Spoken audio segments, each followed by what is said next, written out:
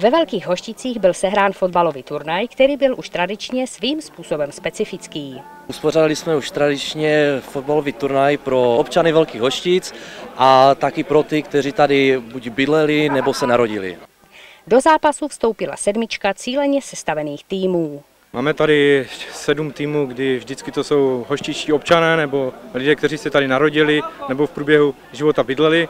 A máme tady různé týmy, hraje tady obecní úřad, mají tady zastoupené složky, své manšafty, eh, hospody, takže každá část spektra občanů si tady našla a udělala svůj tým. Na hřiště proti sobě nastoupili hráči, které z obcí pojí určitá sounáležitost.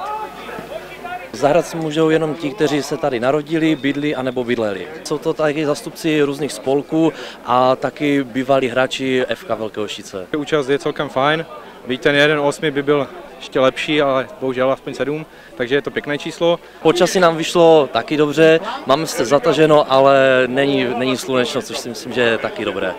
Jednotlivá družstva se snažila podat co nejlepší výkony, součástí akce však byla i radost ze sportovně strávených chvíl.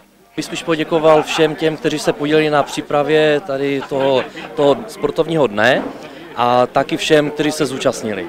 Takže věřím, že vyhraje fotbal, fair play a budeme všichni mít krásný den, krásný večer. Večer zakončíme karnevalem, takže věřím, že to bude fajn.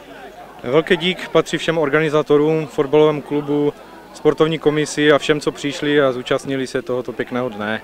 Z Velkých Hoštic Radana Doležilová.